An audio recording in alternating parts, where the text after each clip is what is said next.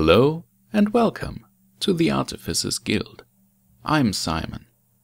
Today I will be talking to you about the lore and world building of Dota 2 and how it relates to artifacts. I will also explain why the game we are all looking forward to is so important to the world Valve has built going forward. Let me start like this. It is actually really impressive how much lore and character Valve were able to inject into a tense, competitive multiplayer game, where you are more likely to dish out and endure trash talk than listen to the quips between the heroes. The game features more than a hundred playable characters, and they do not only have a backstory, but specific allies and rivals among the rest of the roster.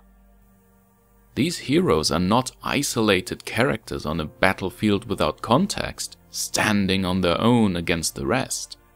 They know one another, and they have different kinds of relationships to each other, ranging from friendships and mutual respect, or even admiration, to sibling rivalry and deep-seated hatred.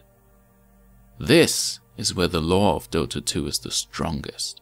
It is character-focused. Almost everything about the way the world has been explained thus far has been tied to characters, to flesh them out further, but the world surrounding them, not so much. And you can't even blame Valve's writers for that. Dota 2 is a multiplayer game by design. In a game which does not feature any single player campaigns, where characters always fight alongside or against each other, the most practical ways of conveying any sort of narrative have been context sensitive voice lines. Thousands of them. Beyond that, there's only flavor text and a few holiday events. Other attempts like the Arch Chronicles, which contained artwork, poetry, and other bits have been removed from the game. Why, Valve? but I understand. There's only so much you can do in Dota 2's genre, unless you introduce alternative modes like Siltbreaker but it was designed to be more of a challenge mode than actual storytelling. I did enjoy the Gastromancer's diary though. And it actually has a connection to Artifact, the first of its kind within Dota 2. It's the symbol in an empty, dark room. Hmm, must be metaphor. Anyways, building content like this takes a long time and it's expensive too. And they still had to build an entirely different mode in an entirely different genre to tell the story. Because Dota 2, on its own the way it is, just isn't able to tell a story. Not while you play it anyway. In a competitive setting, when the player's focus lies elsewhere, your options for crafting a rich world are very limited. And that is why, the further we get away from these characters in the world of Dota 2, the more questions about this world remain unanswered. And there is a lot of questions because this is a complicated universe, different planes of existence and realms, several levels of hells, and even paradoxal timelines. It all seems so convoluted when you can't fill the gaps. But there is tremendous potential in between. Unfortunately, it seems the devs have reached the limits of what kinds of stories can be told within the confines of Dota 2's gameplay loop. They saw opportunities to expand the lore and flesh out this world they created but they needed a new medium to craft new stories, and a fresh canvas to paint new landscapes upon. And that is Artifact. When Artifact was announced, some did not see why the Dota IP was being built upon in this way. But now that the devs have revealed a couple details about the story of Artifact's base set, we can see how the writers of these two games have been building up to Artifact's release over the course of the last year within the lore of Dota 2. Something interesting has been happening to a couple heroes lately. Their personal story arcs are being progressed, and there are lasting changes in the world around them. You see, most heroes have been entirely stagnant since their introduction to the game. The only real exception to this is when Skeleton King transformed himself into Wraith King, which avoided censorship in China and potential problems with Blizzard. I miss my bones. But more recently, Yurnero the Juggernaut has transformed into an entirely different character through the Bladeform Legacy Arcana item. Not in terms of gameplay, but narrative. The Yurnero we knew is effectively dead. Yurnero is gone. Only the Juggernaut remains. Apparently, Sven split his mask, which made ancestral spirits take over the Juggernaut's body. Sven, thank you for using the Adjudicator's blade to awaken us. This new Juggernaut is also one of the few characters to mention Sorla Khan, who plays a pivotal role in Artifact, as well as Kanna, whom we have only seen a single piece of concept art for. We don't even know what her deal is. Only that the new Juggernaut seems worried about her. Azrael, you haven't heard any rumors of Kanna's return, have you? Have you?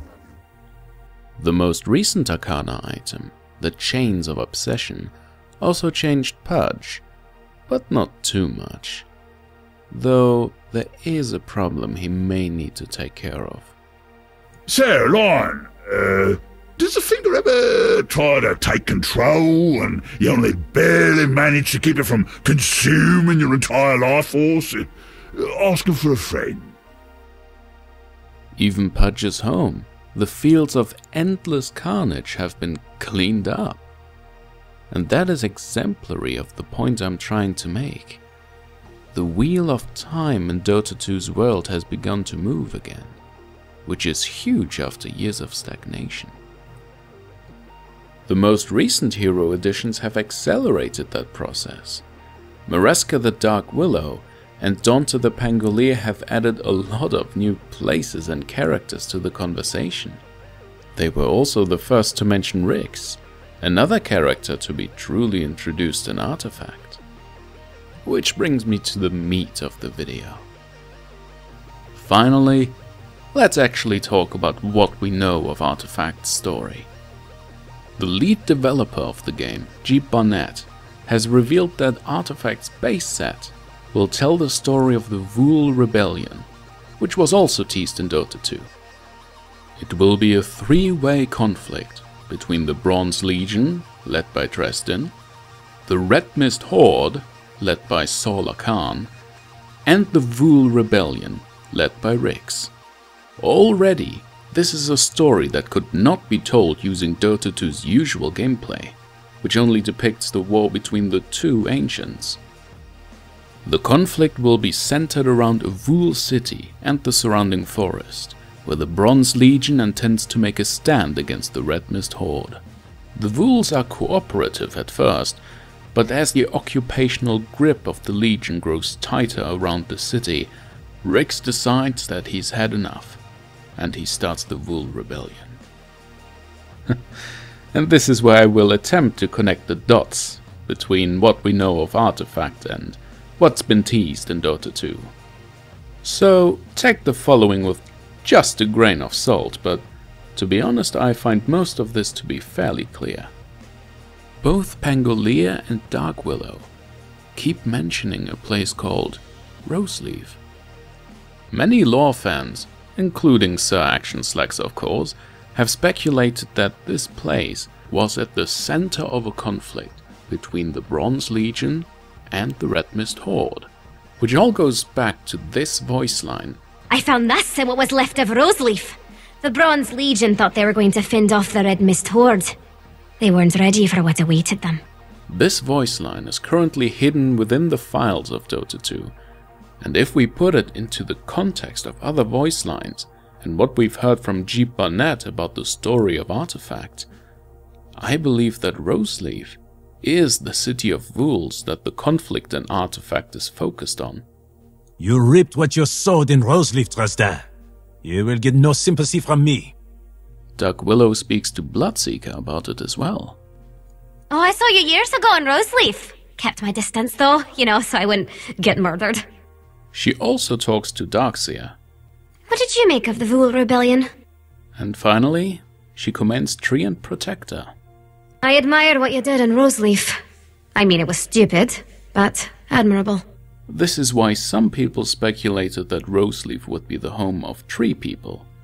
But I believe that the city belongs to the Vhouls, but the forest around it may be the home of Treants. If you've been following our content, you'll remember that in April, more than a hundred cards have leaked through the copyright catalog, and even more have leaked recently. All three of the aforementioned heroes which took part in the Battle of Roseleaf, Darkseer, Bloodseeker, and Treant Protector, can be found among the names of leaked cards, more or less confirming their presence in Artifact, and further supporting the theory that Roseleaf is the Vhoul City. Well, I should say it used to be a theory, because the most recent cards that were added into the copyright catalog only last month confirm Roseleaf's inclusion in Artifact. There are Roseleaf Druids, which will be creeps, and even the walls of Roseleaf, which I predict will be a board improvement. But now let's talk about something which I haven't seen much discussion about. One of the most interesting things about the story of Artifact that G. Barnett has mentioned is that there seems to be a framing narrative as well. Artifact is not only a different medium to tell stories with, but the cards themselves exist within the shared universe of the two games. In this framing narrative, the cards were mysteriously created by someone.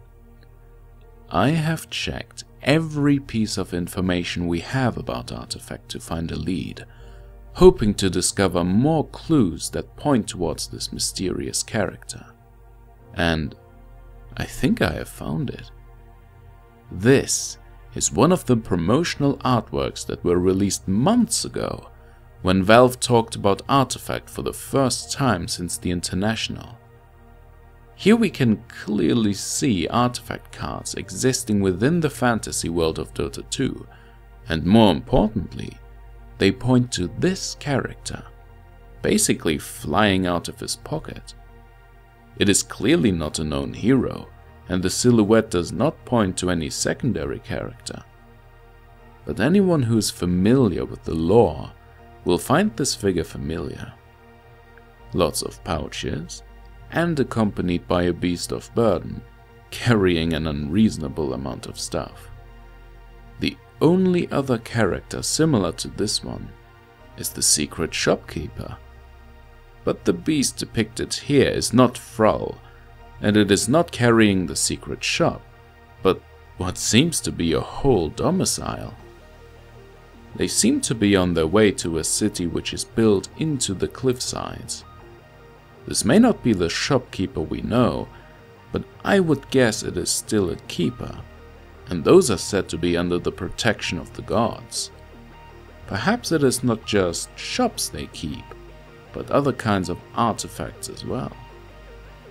Of course, the point of creating these cards and their function in universe is still unknown, but I doubt it will be anything as cheesy as heroes trapped in playing cards. My personal guess would be that the cards are a way of telling the stories of this world for the less literate sort, the kind that is more inclined to gamble than read. That is pure speculation on my part, though.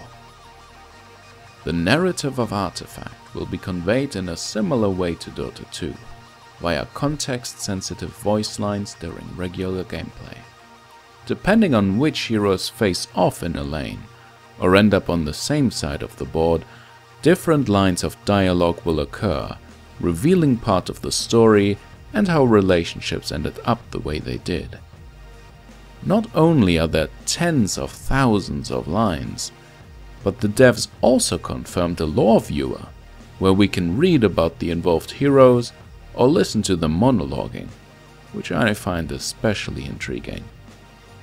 I'm sure there will be more in there to breathe new life into this world.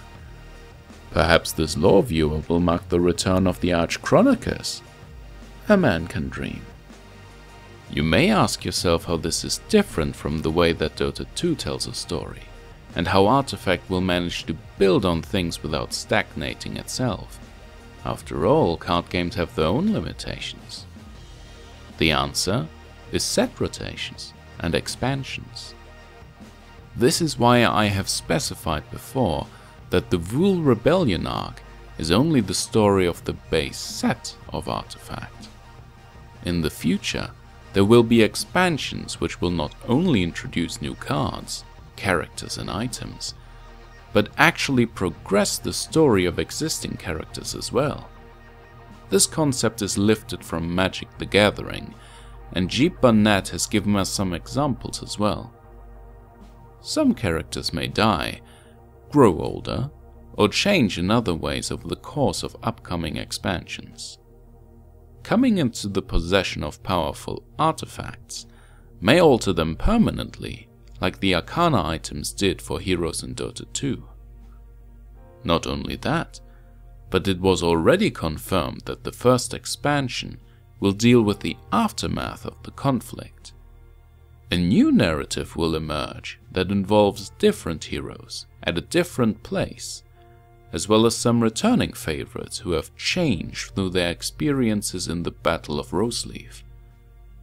As a card game, Artifact is uniquely positioned to make the world of Dota progress faster than ever before and fill those gaps in its mythos. Speaking of which, if you guys are interested, I would love to share some of my favorite stories from the lore of Dota with you. I'll also recommend Sir Action Slacks's Loregasm, but watch out for those headcanons. In any case, thank you for watching, and let us know what you think of this kind of content.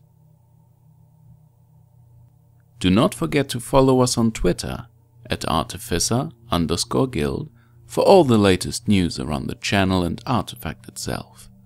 Also, you can like and subscribe to help our channel grow and the community we are trying to build. I have been Cymen of the Artificers Guild, and we will see you soon.